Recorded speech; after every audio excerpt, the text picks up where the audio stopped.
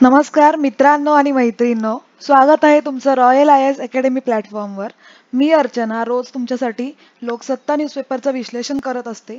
जेणेकरून M P S C करणाऱ्या विद्यार्थ्यांसाठी त्यांचा न्यूजपेपर वाचण्याचा टाईम कमी होईल आणि तो तुम्हाला दुसऱ्या ठिकाणी युटिलाइज करता येईल. तसंच तुमच्यासाठी जे करंट अफेअरची जी तयारी आहे त्याचा टाईमसुद्धा वाचेल आणि त्या कमी वेळामध्ये तुम्हाला जे महत्त्वाचं आहे ते कळत जाईल. तर आता आपण आजचा न्यूजपेपर स्टार्ट करत आहोत. महाराष्ट्र सेक्शनमध्ये आपण बघतोय.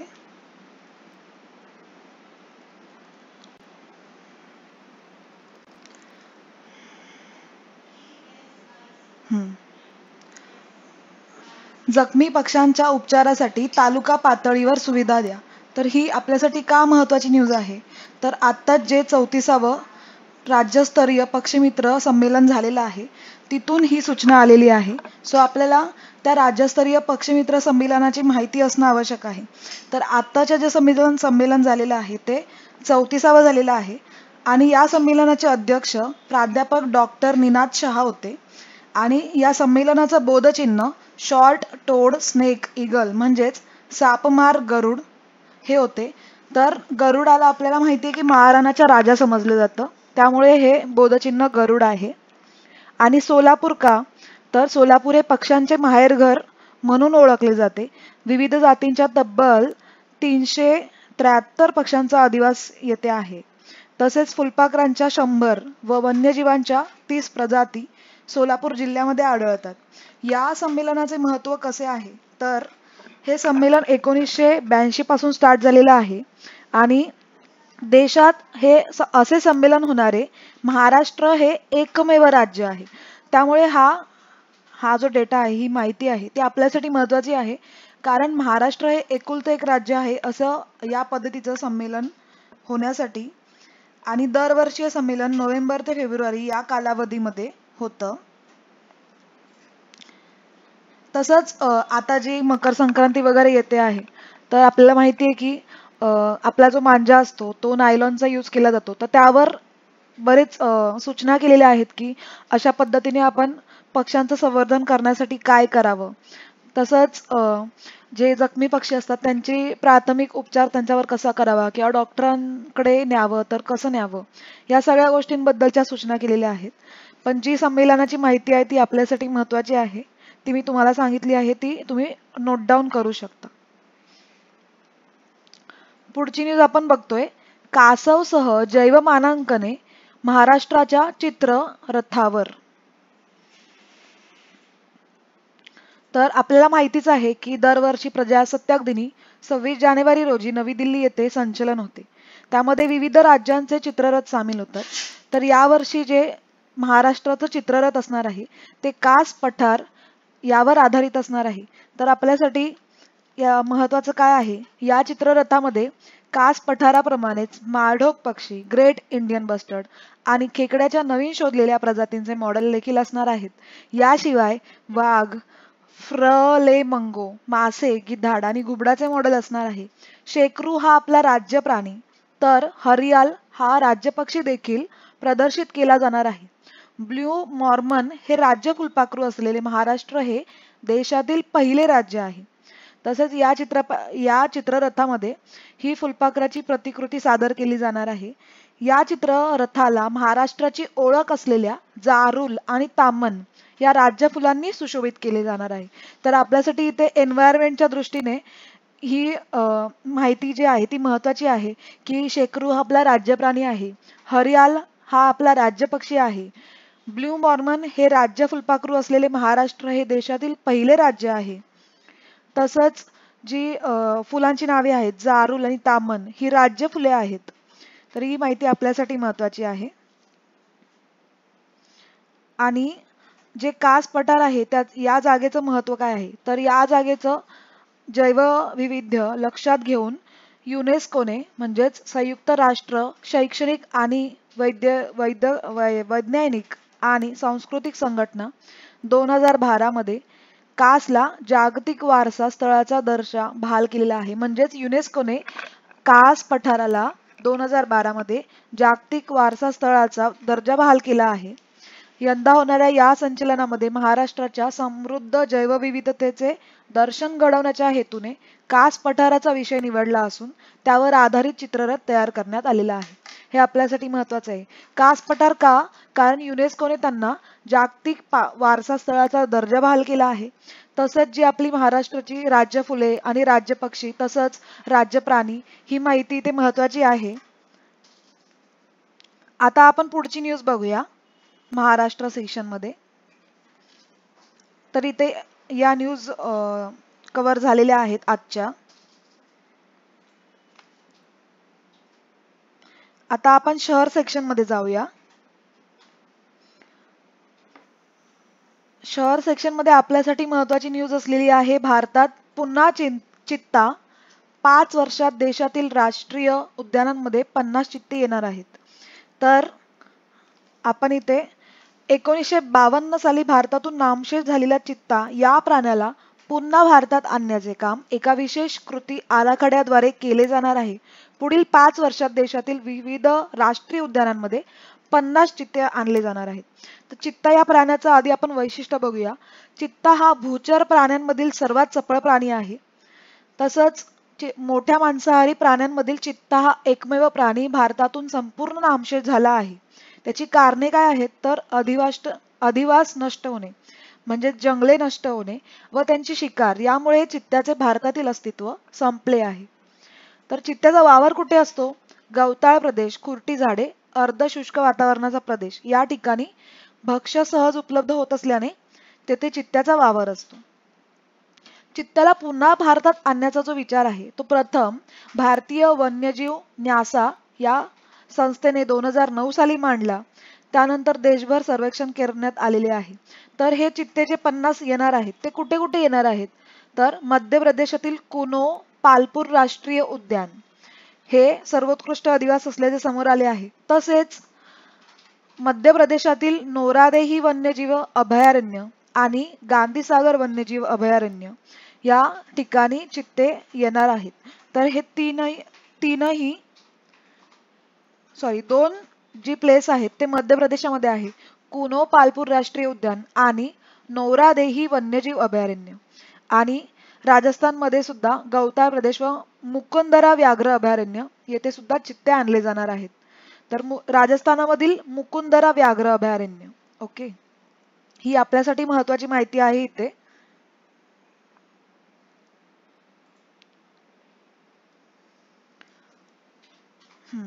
ही एक न्यूज आहे जाहिरात गरसन दी कुरा यांचे निधन.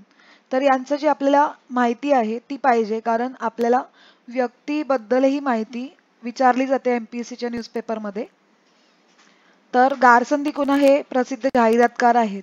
तसंच त्यांनी चित्रपट चित्रपटांमध्ये भूमिका सुद्धा केलेल्या आहेत. रंगभूमीवरही काम केलेलं आहे. त्यांचे जे चित्रपट आहेत ते अशोका आणि वॉटर यांमध्ये त्यांनी भूमिका केलेल्या आहेत. तसेच त्यांनी सोश सोशल वर्क म्हणजे समाजकार्यात सुद्धा स्वतःला झोकून दिलेले होते. युनिसेफच्या कार्याशी ते जोडले गेलेले होते. या कामाची दखल घेत ब्रा ब्राझील सरकारने त्यांना ऑर्डर ऑफ रिओ ब्रांको हा सन्मान दिला होता. आपल्यासाठी हा महत्त्वाचा आहे की त्यांना जो सन्मान होता तो ब्राझील सरकारने दिलेला ऑर्डर ऑफ रिओ ब्रांको.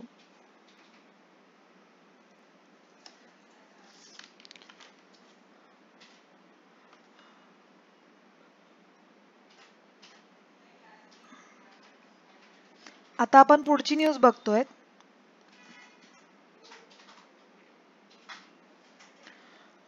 ही एक न्यूज आहे. राज्य मागासवर्ग आयोगाचे अधिकार कार्यकक्षेस आक्षेप राजकीय दृष्ट्या मागासांची व्याख्या निश्चित करण्याची मागणी. तर ओबीसी समाजाचे राजकीय मागासले पण तपासण्यासाठी राज्य मागासवर्ग आयोगापुढे काम कामकाज सुरू केलेले आहे. तर यामध्ये राजकीय दृष्ट्या मागासांची व्याख्या निश्चित करण्याची मागणी केलेली आहे. तसेच जो आक्षेप घेतलेला आहे राज्य मागासवर्ग आयोगावर त्यांच्या कार्यकक्षेवर तो कुठल्या कुठल्या बेसिसवर आहे. तर स्थानिक स्वराज्य संस्थांमधील राजकीय दृष्ट्या मागासांना राज्यघटनेच्या कलम दोनशे त्रेचाळीस डी व दोनशे त्रेचाळीस टी अन्वयी आरक्षण देण्यात आलेले असून इतर मागासवर्गीय म्हणजेच राजकीयदृष्ट्या मागास अशी व्याख्या राजघटनेत किंवा सर्वोच्च न्यायालयाच्या कोणत्याही निकालपत्रात करण्यात आलेली नाहीये. त्यामुळे ओबीसी समाजाचे राजकीय मागासलेपण तपासताना आधी व्याख्या आणि त्याचे निकष व अटी जाहीर कराव्यात अशी विनंती या आयोगाला करण्यात आलेली आहे. त्याचबरोबर राज्यघटनेच्या कलम पंधरा सेक्शन चार व सोळा मधील सेक्शन चारनुसार राज सामाजिक व शैक्षणिक मागासलेपणानुसार नोकरी नोकरी व शिक्षणातील आरक्षणाची तरतूद आहे. राजकीय मागासलेपण हे प्रत्येक स्थानिक स्वराज्य संस्थेच्या कार्यशक्ष कार्यकक्षेत वेगवेगळे असणार आहे. आणि त्यासाठी निकष वेगळे असतील. हा आयोग राज्यघटनेतील वेगळ्या तरतुदीनुसार असून त्यांना राजकीय मागासलेपण तपासण्याचा संविधानिक ऐक अधिकारच नाहीये असा सुद्धा आक्षेप घेतलेला आहे. तर म्हणजे थोडक्यात की राजकीय मागासलेपण या टर्मची जी निकष आहेत तेच हे नाही आहेत म्हणजे क्लिअर नाही आहेत त्याचे निकष व अटी जाहीर कराव्यात अशी ही विनंती आहे आयोगाला. आणि अजून एक आक्षेप असा आहे की महाराष्ट्र मराठा समाजाच्या आरक्षणासंदर्भात नारायण राणे समितीचे कामकाज व अहवाल न्यायालयीन कसोटीवर टिकू शकलेले नाही. त्याप्रमाणे संविधानिक अधिकार नसताना आणि निकष योग्य प्रकारे न ठरवता ओबीसी समाजाचे राजकीय मागासले पण तपासल्यास भविष्यात अडचणी येऊ शकतील असं सुद्धा नमूद करण्यात आलेलं आहे. तर आपल्यासाठी महत्वाचं आहे की कुठले कुठले निकष यावर आक्षेप घेण्यात आलेला आहे.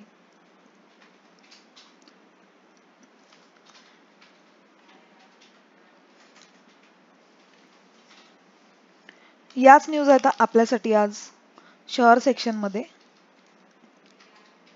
आता आपण देश विदेशमध्ये जातोय.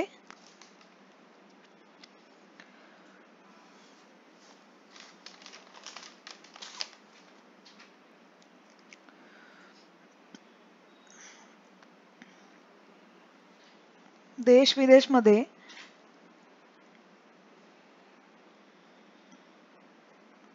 हा ही न्यूज आहे सिडनी पॉयटिये यांचे निधन. यांना जो ऑस्कर पुरस्कार मिळाला आहे तो लिलीज ऑफ द फील्ड या चित्रपटातील भूमिकेसाठी मिळाला आहे. अमेरिकेत जन्मले आणि कॅरिबियन बेटांवर शेतकरी कुटुंबात वाढलेले पॉएटिये यांनी तरुणपणी अमेरिकी कृष्णवर्णियांच्या रंगभूमीपासून अभिनयाचा प्रारंभ केला. अनेक वर्ष नाटकांमध्ये काम केल्यानंतर त्यांनी हॉलिवूडची वाट धरली. त्यांचे जे सर्व सर्वाधिक गाजलेले जे भूमिका आहेत ज्या भूमिका आहेत त्या no way out in the heat of the night guess who's coming to dinner to sir with love हे चित्रपट आहेत. ही एवढीच माहिती आपल्यासाठी पुरेशी आहे. देश विदेशमध्ये आपल्यासाठी अजून महत्त्वाच्या आपल्यासाठी महत्त्वाचे न्यूज अशा नाही आहेत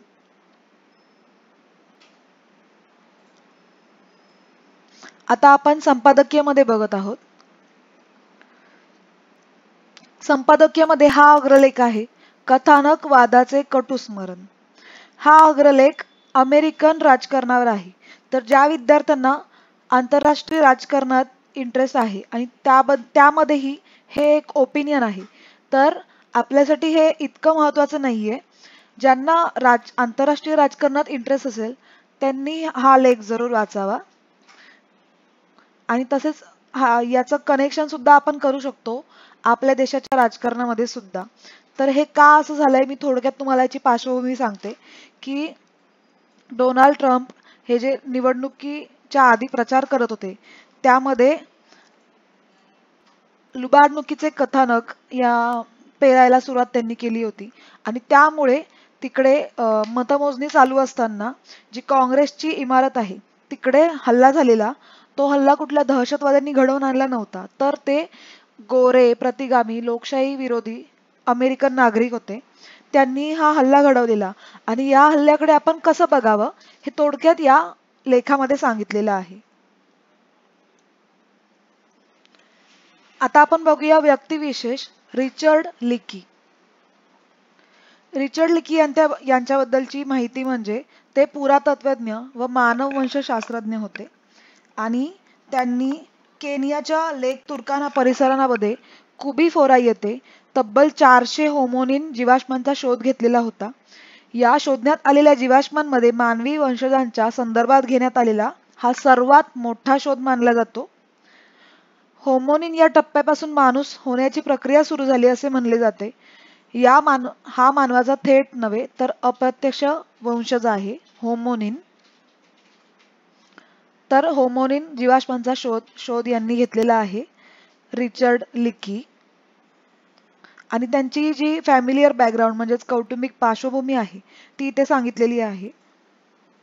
तसंच त्यांना जो पुरस्कार मिळालेला आहे तो फेलो ऑफ रॉयल सोसायटी हा कोणत्याही संशोधकासाठी सर्वात मोठा सन्मान आहे तो रिचर्ड लिकींना लाभलेला आहे. तर हा आपल्यासाठी महत्त्वाचा आहे की फेलो ऑफ रॉयल सोसायटी हा संशोधकांसाठी सर्वात मोठा सन्मान आहे. इतकंच आपल्यासाठी इथे महत्वाचं आहे. आपण पुढची न्यूज बघूया. पुढे आहे लोकमानस लेख. त्यामध्ये ओपिनियन आहेत. इथे पुस्तकांच्या गावाबद्दल थोडेसे सजेशन देण्यात आलेले आहे या योजनेसाठी. तर आपण थोडक्यात माहिती घेऊया. पुस्तकांचे गाव ही योजना ही राज्य सरकार राबवत आहे. ही योजना दोन हजार एकोणीस वीसपासून या योजनेसाठी निधीची तरतूद करण्यात आलेली आहे. तसंच पुस्तकांचे गाव हे प्रत्येक जिल्ह्यात उभारण्यात येणार आहे. आणि याचा जो उद्देश आहे तो असा की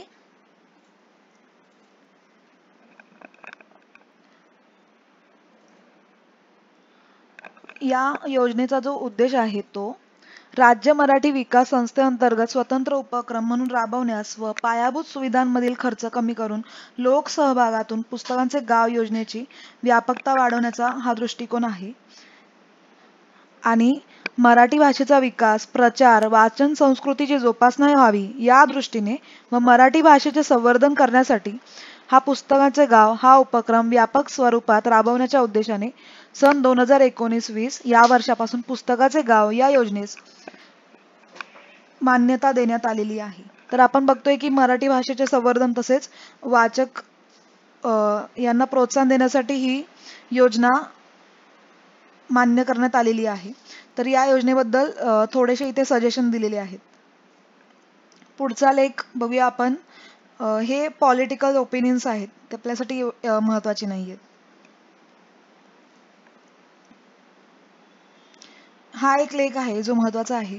विद्यापीठांचे राजकीय किरणकरण थांबवण्यासाठी जो आता नवीन बिल बिल आलेला आहे विद्यापीठ सुधारणा कायदा. तर हे का आणलेलं आहे याची एक पॉझिटिव्ह साईड इथे एक्सप्लेन केलेली आहे. तर राज्यातील विद्यापीठे अत्यंत दयनीय अवस्थेत असून सुमार व भ्रष्ट टोळक्यांचे अड्डे बनले आहेत. निरक्षर पदवीधर व अथवा प्रामाणित विद्वान तयार करण्याचा गोरखधंदा बरकतीत आहे. या अधोगतीचे मुख्य कारण संशोधक आणि पीएच डी झालेले व्यापारीकरण परिणामी ग्रेशम लावानुसार बनावट नाण्यांचे सुळसुळट हे सर्व प्रकरण इथे डिस्कस केलेलं आहे की हे का महत्वाचं आहे सुधारणा विधेयक?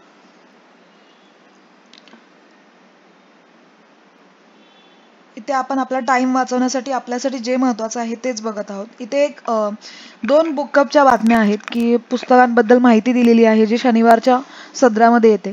तर अफगाणिस्तानचं जे राजकारण आहे किंवा जे त्यांचे इंट्रॅक्शन्स आहेत दहशतवादी संघटना आहेत त्यांमधील इंटरॅक्शन्स ते आपल्याला एक्सप्लेन केलेले आहेत. आणि ही हे अजून एक पुस्तक आहे. हा एक प्रयोग प्रयोगावर आधारित पुस्तक आहे. एका एकरात भाज्यांची शेती. तर या प्रयोगावर हे पुस्तक आहे. आता आपण लोकसत्ता विश्लेषणामध्ये जातोय. लोकसत्ता विश्लेषणामध्ये आपल्यासाठी महत्वाची न्यूज आहे. माळढोक पक्षी नामशेष होण्याच्या मार्गावर कारणे कोणती? संवर्धनाचा मार्ग कोणता? तर इथे आपण बघत आहोत माळढोक पक्षाविषयीची माहिती.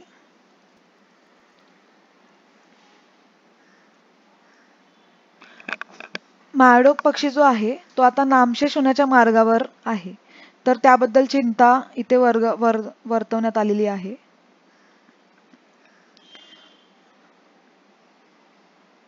इथे सांगितलेलं आहे की जे नामशेष होण्याचे जे कारण आहेत त्यामध्ये वीजतारा जास्त कारणीभूत आहेत.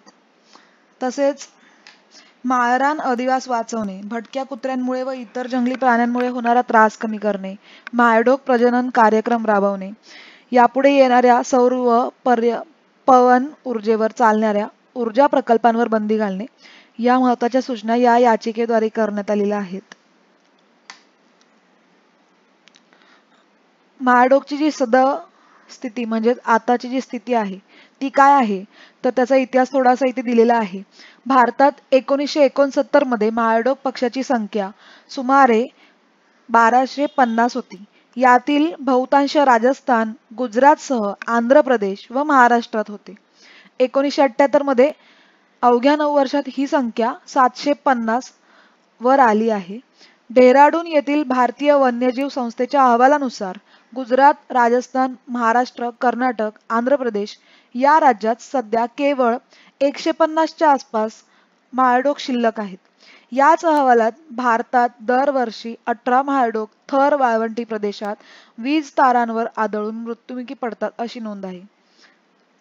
तसंच जो माळडोक पक्ष्यांचा आदिवास आहे तो अर्धशुष्क व गवताळ प्रदेश असा आहे. माळढोक संवर्धनासाठी कोणते पर्याय केले जावेत? तर महाडोक पक्षासाठी International Union for Conservation of Nature म्हणजेच आय यू सी एन जागतिक परिषदेत शिक्कामोर्तब करण्यात आलेले आहे.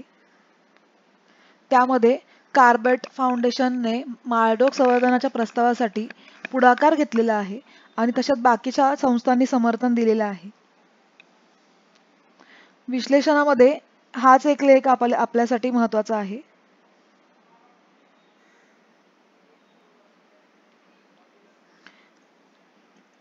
तर आत्ताचं आपलं लोकसत्ता विश्लेषण हे झालेलं आहे आजचं. मी तुम्हाला पुरेपूर माहिती देण्याचा प्रयत्न करते जी माहिती तुम्हाला एम पी एस सीसाठी उपयोगी पडेल. तर तुम तुम्ही ही व्हिडिओ आवडली असेल तर लाईक करा सबस्क्राईब करा आमच्या चॅनलला रॉयल आय एस अकॅडमी. आणि तसंच तुमच्या मित्रमैत्रिणींसोबत सुद्धा शेअर करा जेणेकरून त्यांना सुद्धा या व्हिडिओचा फायदा होईल. थँक्यू